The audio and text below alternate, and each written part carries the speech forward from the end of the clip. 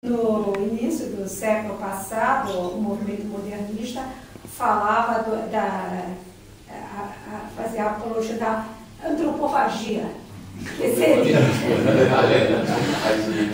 que seria exatamente consumir, devorar a comida, a, a, a cultura, a cultura é, eu, é, para dali fazer a nossa cultura, para, né?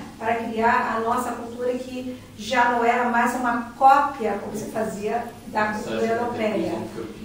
É, que era o, o padrão de, de arte que se tinha até então era a pura cópia da, de uma cultura europeia. Então, a partir daí, começamos a trabalhar muito é, com a diversidade.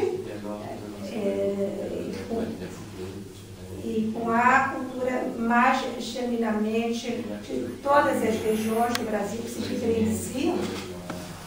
E, e, e foi um processo de autoestima também.